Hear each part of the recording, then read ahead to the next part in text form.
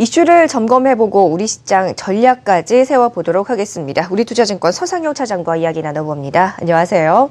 네, 안녕하십니까. 네, 지난주에 아시아 쪽에서 큰 이벤트가 있었죠. 금요일 중국의 삼중전회 세부 항목이 발표가 됐습니다. 자, 일단 우리나라의 중국 의존도가 우리나라는 높기 때문에 좀, 어, 우리나라 앞으로 시장을 좀 좌우할 수 있는 중요한 부분이 아닐까 싶은데요. 주요 내용하고 특징은 무엇이 있었는지 설명해 주시죠. 네, 뭐 중국 어, 주말에 가장 핵심적인 내용은 미국의 제조업 경기 이제 둔화 우려감과 중국의 삼중전의 전문 발표로 인한 계약과 세부 항목이었습니다. 그중 단기적으로는 중국의 삼중전의 세부 항목이 우리나라에 크게 영향을 줄 것으로 여겨지는데 주된 내용은 동서병의 개혁 개방 이후 35년간 이어왔던 개혁의 심화가 가장 크고요. 이를 중국식 사회주의라 명명하며 진행하는 모습과 실망스럽지만 그래도 발표된 국유기업 개혁과 더불어서 금융시장 개혁, 농민들을 위한 토지 토지 소유 허가, 뭐 소규모 도시화 강화, 그리고 부동산세 등 세제 개혁과 더불어서 인권 문제로 노동 교화제 폐지와 일자년 사실상 폐지 등이 있었습니다. 뭐 그런데 이러한 개혁 조치가 정치적으로 본다면 대부분의 구시대화에 마찰이 생길 수 있는 내용들이 다수 포함되어 있는데 국유 기업에 대한 개혁, 부동산세 추진이나 사법제도 개혁은 그동안 권력을 차지하고 있던 기득권 세력에 대한 압박으로 작용하는 모습이었습니다. 그리고 구 세대를 어, 불만을 억누르기 위해서 당내에 뭐 영도 소조를 만들어서 감시와 지도를 병행하고 국가안전위원회를 신설하여 감시를 강화해 나가는 흐름이라서 시진핑 주석에 대한 권력 집중적인 특징이 모습 어 특징적인 모습이었습니다.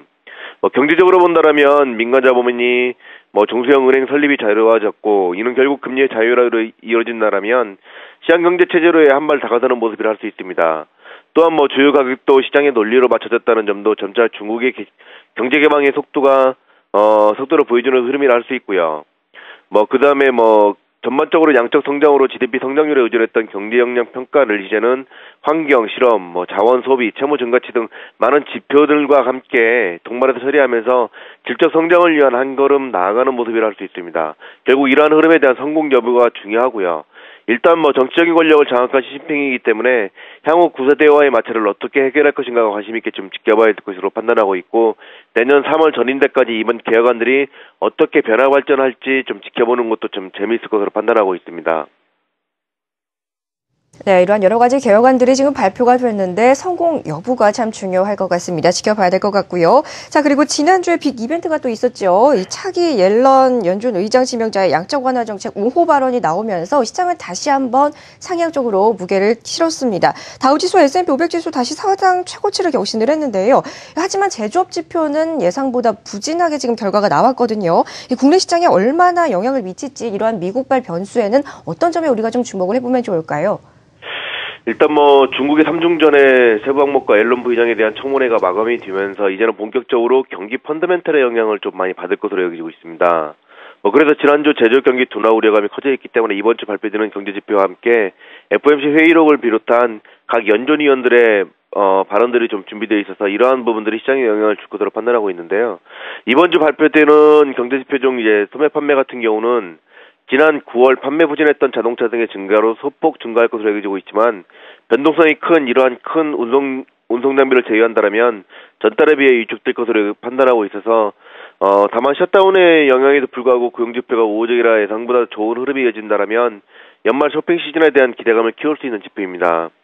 뭐 그리고 주택 지표들이 발표되는데 고용보호소에서 어 건설 부분은 고용이 크게 증가했다는 점에서 이 지표들이 좀 우호적으로 나올 것으로 판단하고 있고요.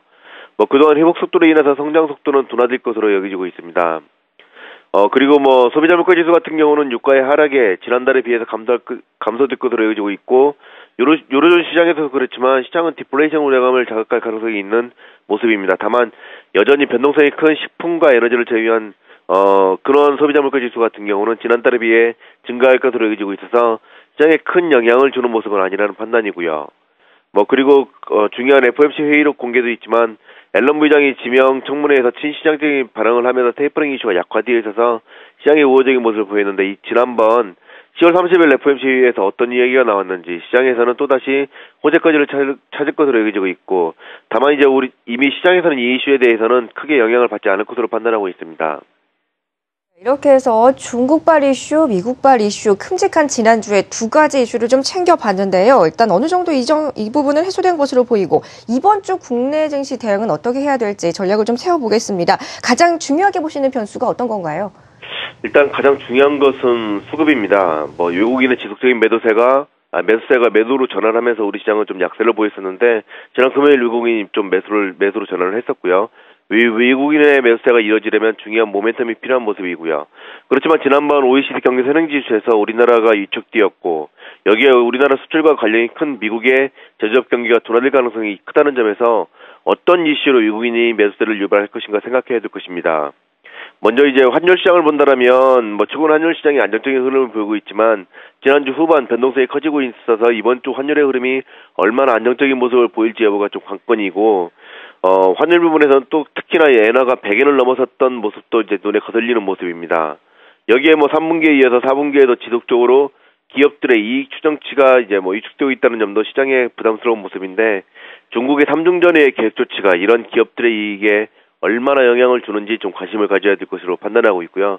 만약 중국의 개혁 조치가 우리나라 기업들의 실적에 우호적인 영향을 끼친다는 분석이 된다면 외국인의 매수가 이어질 것이지만 그렇지 않다면 외국인의 행보는 그리 좋아 보이지는 않을 것으로 판단하고 있습니다. 물론 글로벌 경기 회복이 이어지고 있다는 점에서 향후 전망은 좀 우호적이긴 하지만 단기간에는 중국에 대한 분석이 어떻게 될지 여기를 어, 좀 지켜봐야 될 것으로 판단하고 있고 그렇기 때문에 이번 주 시장은 여러 가지 이슈의 후, 후속 흐름이 얼마나 안정적인 모습을 보이는지에 따라서 변화가 이어질 것으로 판단하고 있습니다. 어 그렇다면 지난번 이제 고점대였던 2050선을 넘을 만한 모멘텀이 좀 부족한 상태라는 점에서 큰 폭의 상승이나 그렇다고 해서 뭐 큰 폭의 하락 같은 경우는 없을 것으로 판단하면서 단기적인 박스권 행보가 좀 이어질 것으로 여겨지고 있고요. 어, 중장기적으로 본다라면 경기 회복에 대한 기대감 때문에 경기 민감주에 대한 매수는 좀 더 이어져 이어져야 될 것으로 판단하고 있습니다. 네, 아직까지는 어느 정도 부담감이 함께 사려 있는 국내 증시 대응 전략을 한번 살펴봤습니다. 지금까지 우리투자증권 서상영 차장과 함께 이야기 나눠봤습니다. 고맙습니다.